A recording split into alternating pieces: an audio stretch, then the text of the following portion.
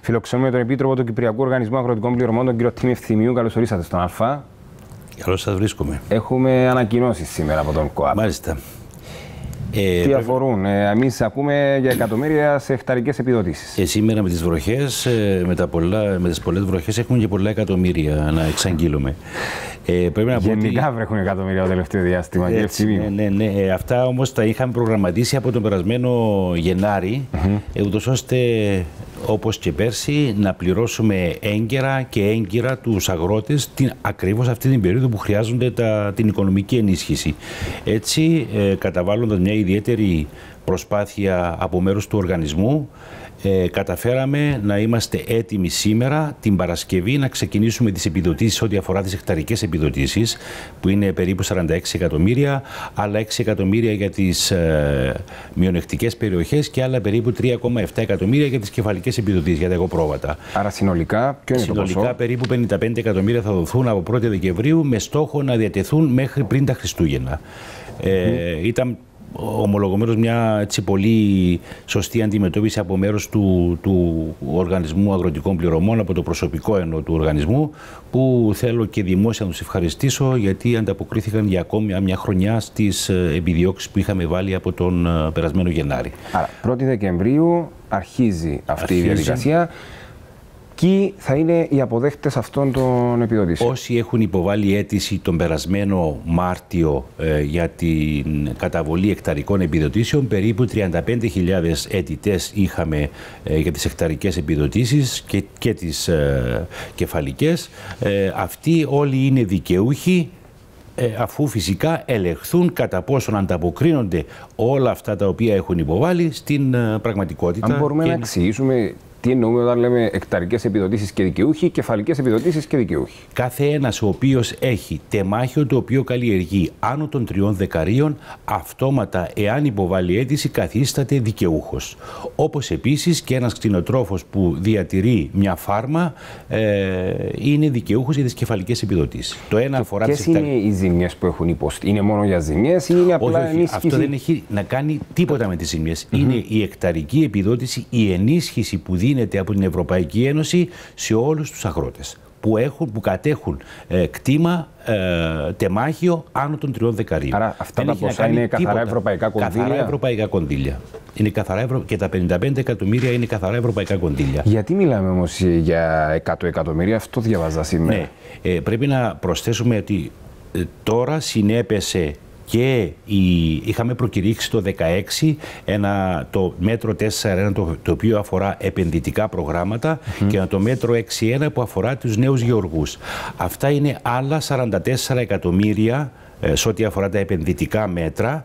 Ε, πρέπει να πούμε εδώ ότι το, οι αρχικές, η αρχική εξαγγελία ήταν 20 εκατομμύρια, αλλά πρόσφατη απόφαση του Υπουργικού Συμβουλίου προσέθεσε άλλα 24 εκατομμύρια και έτσι ε, από τις 604 αιτήσεις που πήραμε σε ό,τι αφορά τα επενδυτικά μέτρα έχουν εγκριθεί οι 220 αιτητές. Αυτό είναι που αφορά στους νέους γεωργούς; Αυτό αφορά τους επεν, ε, εκείνους που έχουν υποβάλει αίτηση για επενδυ, στο επενδυτικό μέτρο. Το σε ό,τι αφορά το 4 Το 6-1 αφορά τους ε, νέους γεωργούς. Είχαν υποβληθεί 270 αιτήσεις και εγκρίθηκαν 233. Ε, θα, το αρχικό ποσό είναι 3,5 εκατομμύρια και θα δοθούν τώρα 4,6 ε, εκατομμύρια. Άρα σύνολο άλλα περίπου 50 εκατομμύρια που ανεβάζουν το ποσό, το συνολικό ποσό πέραν των 100 εκατομμυρίων μαζί με τις εκταρικές επιδοτήσει. Αν πρέπει να το κατηγοριοποιήσουμε, σχέδιο 6.1 νέοι γεωργοί, πόσες αιτήσεις έχουν εγκριθεί και ποιο είναι το ποσό που θα. Εγκρίθηκαν 270 αιτήσεις και έχουν εγκριθεί 233. Θα διατεθεί ποσό 4,6 εκατομμύρια ενώ το αρχικό ήταν 3,5 εκατομμύρια. Μπορεί όμως να υποβάλουν και άλλοι αιτήσεις; Όχι. Όχι, έχει τελειώσει. Οι αιτήσει έχουν, έχουν ολοκληρωθεί πέρσι τον Οκτώβριο. Και τώρα είναι τα ποσά και τώρα, τους δικαιούχους. Ε, ο χρόνος ο οποίος χρειάστηκε μέχρι σήμερα να επεξεργαστούν οι αιτήσεις ε, και πρέπει εδώ να τονίσω ότι ε, για πρώτη φορά γίνεται τόσο, σε τόσο σύντομο χρονικό διάστημα ενώ τα προηγούμενα χρόνια απαιτούσαν δύο και τρία χρόνια να, να ελεγχθούν όλοι αυτοί οι αιτητές. Ε, φέτος καταφέραμε σε λιγότερο από ένα χρόνο να έχουμε αποτελέσματα και να δοθούν τα χρήματα στους Και για όλα αυτά τα σχέδια αρχίζει την Παρασκευή. Η... Την Παρασκευή ξεκινά η καταβολή της εκταρικής επιδότησης των μειονεκτικών περιοχών και των κεφαλικών επιδοτήσεων. Όλα για τα σχέδια αυτά, για, για τα σχέδια αυτά έχουν ήδη αποσταλεί στις, ε, στις, ε, στους αιτητές οι αιτήσεις έγκρισης ή απόρριψης ανάλογα και ε, το, το, τα ποσά θα διατίθενται ανάλογα με το τι μας φέρνει μέσα ο κάθε αιτητής. Δηλαδή, αν ένας αιτητής είχε υποβάλει αίτηση για, να, ε, για επενδύσεις των 200.000, mm. αν μας φέρει τα πρώτα τιμολόγια των 50.000 ή 80.000 ή 100.000 θα πληρώνεται και θα ακολουθεί μέχρι να ολοκληρωθεί το έργο το οποίο έχει υποβάλει. Και είπαμε, στόχος είναι οι κεφαλικές επιδοτήσεις και οι εκταρικές να καταβληθούν πριν τα Χριστούγεννα. Και οι, και οι κεφαλικές, ναι. Προλαβαίνουμε, κύριε Ευθυμίου; Ε, Εμείς είμαστε έτοιμοι. Εδώ θα πρέπει να αναφερθώ ότι σε ό,τι αφορά τις εκταρικές επιδοτήσεις, είμαστε καθόλου έτοιμοι και ξεκινούμε.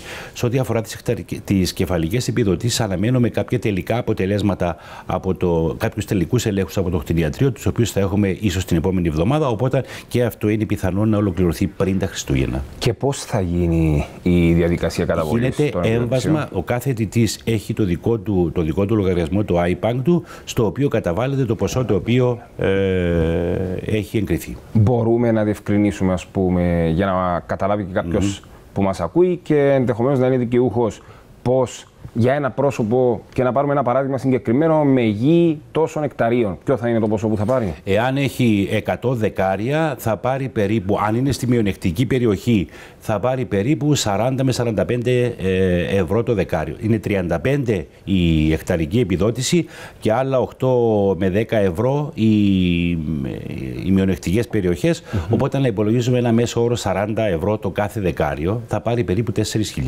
Κλείνοντας, επειδή ξέρω ότι πρέπει να πάτε και σε άλλους συναδέλφους, τι είναι αυτό που πρέπει να πούμε για να κρατήσουν αυτοί που μας παρακολουθούν σε σχέση με το έργο του Κυπριακού Οργανισμού Αγροτικών Πληρωμών και τις επιδοτήσεις που φεύγουν αυτές τις ημέρες. Εδώ πρέπει να, να πω ότι υπάρχει μια εξαιρετική συνεργασία με τις αγροτικές οργανώσεις ε, και στό, τους, το, τους στόχους τους οποίους είχαμε θέσει από τον Γενάρη τους είχαμε μαζί, ε, βάλει μαζί με τις αγροτικές οργανώσεις.